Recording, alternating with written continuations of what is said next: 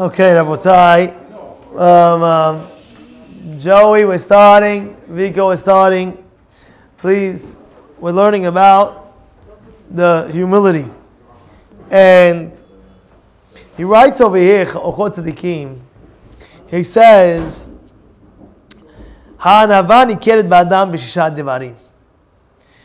We see six things to prove to see if you are humble or not.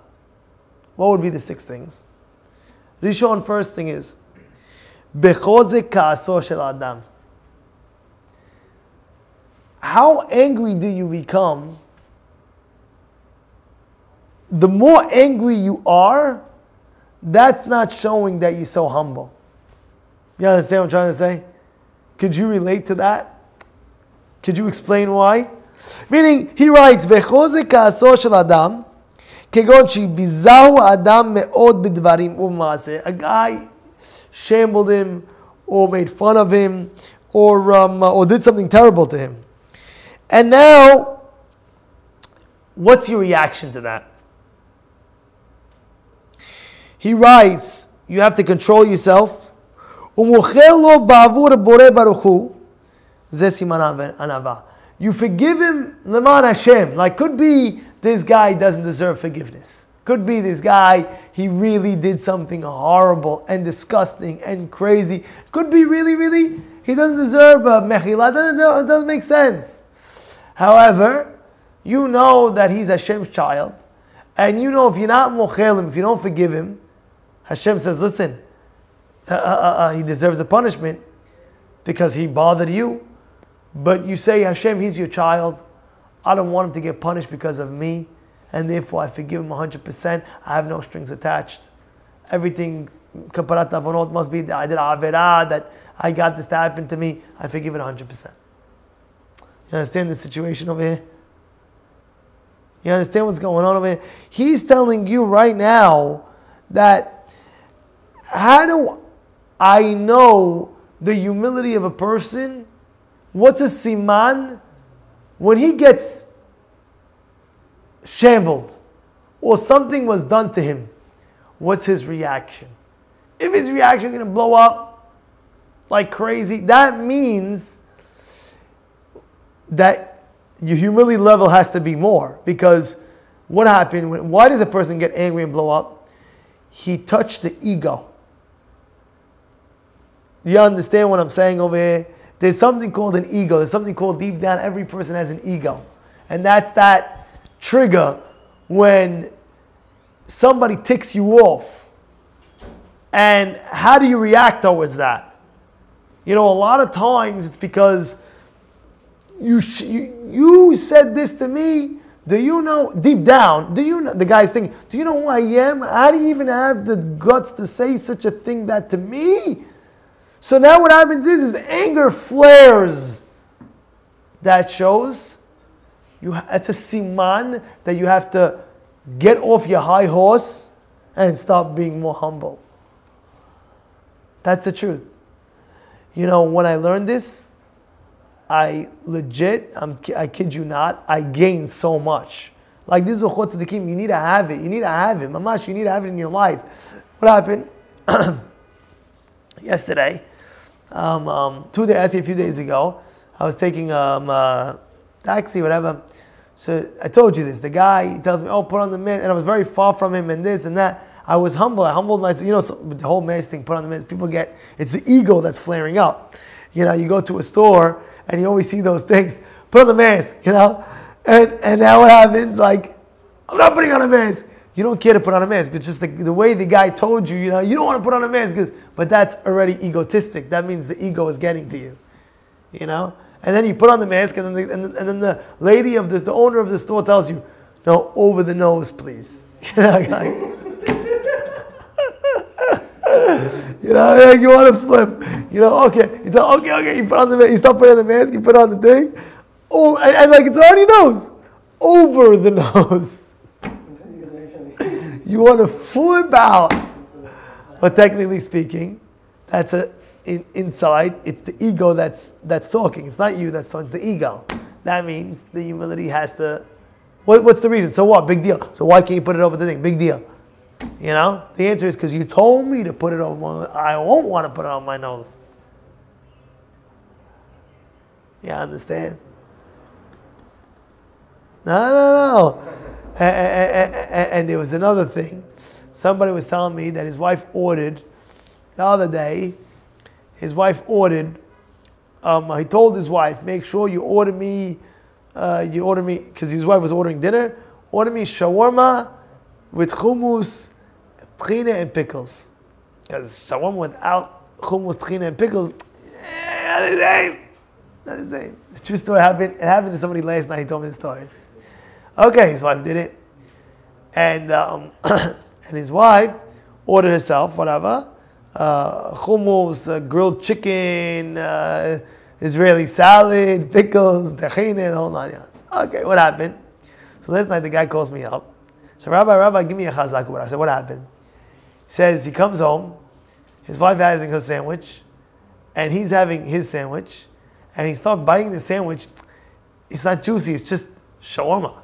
There's nothing there. There's no hummus, tahina, pickles. There's nothing. It's just plain. And he said, you know, he, he controlled himself. You know, sometimes, honey, you didn't listen to me. I told you this, this, this, this, this. And his ego could get in the way. And he controlled himself. I told him big chazak baruch. I gave him bracha. I gave him everything. He says, really, it's a big chazak baruch. It's the truth. It's the truth, you know. That that's a siman to see. One of the simanim to see if you're humble or not is when you get how angry do you get when you get angry? You know, some people get angry, some people get angry, angry, angry, angry, angry. You can never get any you can never get angry at all, by the way. Al Pidin, you're not allowed to get angry. Even inside, you can't get angry. You know, they had things in yeshivas that they made like even inside you don't get angry. You know what's going on? Like the guy ticked you off. Now, there's one level of what? Of not bashing. And there's another level of even inside not getting ticked off. That's when you really, and there's a famous story with the Rambam. In the Rambam, he writes a story how what was the happiest day of somebody's life. Famous Rambam, he writes a story about somebody else. How he wrote I'm talking about maybe a few hundred years ago. How he they had boats. You know, they, they, now you have the planes, you have the cars, you have this. They, they were, before the time they only had a boat. And he writes how one time that there was another guy and he was urinating. And he urinated on the guy, he was on the second floor, urinated on the guy on the first floor. And he and the, the guy who was, you know, he got all urine on him. It says that he didn't even inside. He didn't. He didn't get angry. He didn't bug out. He says, "Wow, look how humble, like humility. He got. He, that was the happiest day of his life. That he was able to control his anger and his humility, not to go crazy. Man, it's a it's a happy day of his life. what do you mean? Because when you're full in control of yourself, you're a happy person. Really, really, you're a happy person. So you have all these, the, a father, grouchy, complaining, everything's an issue. Just relax already. And the kids in the house don't think they don't feel it, by the way. They feel it. They feel it and they feel it. You know, it's like, oh, daddy's so grouchy. And, and they might not say it, but forever they'll know my father was a grouchy guy. He'd come home, he'd complain about this, complain about that, scream at me about this, scream about that. So it's just annoying. You know what I'm saying? There's ways, of course, there's ways of doing things. But don't complain and don't get angry about every still stupid thing. Come on, grow up. Work on yourself to get to that level where, like, okay, big deal. You see my glaze over here? You see it? It broke over here. You see it broke over here? Right. I just got these literally about a month ago. All right? And it took me two weeks to get it. I don't know why, and this and that. They messed up on the order three times, whatever it is. And yesterday, two days ago actually, my younger daughter, she's uh, you know, one year old. She, I was holding her, she pulled it, she pulled my glasses and it broke. She like, I don't know how she did it, she broke it. So I still myself like, you, you could go bug out, you could go crazy, could this, could that. I said, you know what? I said, Gamzu tova. Hashem, this is so good. Whatever you do is good, Hashem. Now, I couldn't do anything to prevent it because right away you're holding the child and boom. So there's two ways of handling the situation. One way to handle the situation is like, oh, bug out on it.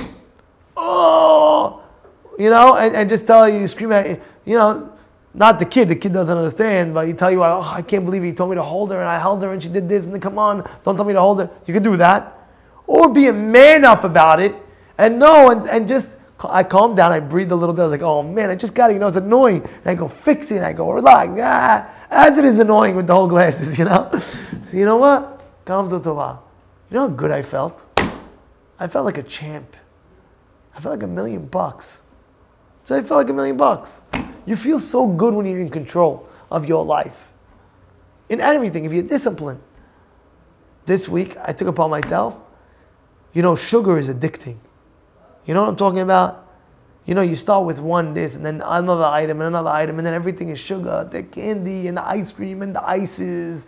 And the ices doesn't stop. You know, you have one and you have another, and then you have a fruit roll up, and the, the sugar doesn't stop. You have a, a guy's addicted to Coca-Cola, Sprite, he has all your soft drinks. Can't stop. It was getting out of control me. I'm like eating and this now, all these different sugaring things. So I'm gonna stop. I'm gonna stop. So this week, I think it was starting Tuesday, Wednesday, Thursday, now Friday, right? The whole week, I said I'm, I'm gonna control myself. And every day I have a coffee. I'm gonna have two coffees. I'm not gonna have a coffee. I'm not gonna have a candy. And I felt so, or sugar, any sugar. No, no, no sugar. Didn't have any coffee. So I'll wait for Shabbat to have a coffee, let's say, or to have a uh, to have a sugar candy. I don't want to be addicted to these things, and I feel so good. It's the discipline, the discipline. You know what I'm talking about? When you discipline, you feel good. When you feel in control, you feel good. Nobody's gonna get me upset. Nobody's gonna get me angry. Nobody's gonna get me worried. Even worry.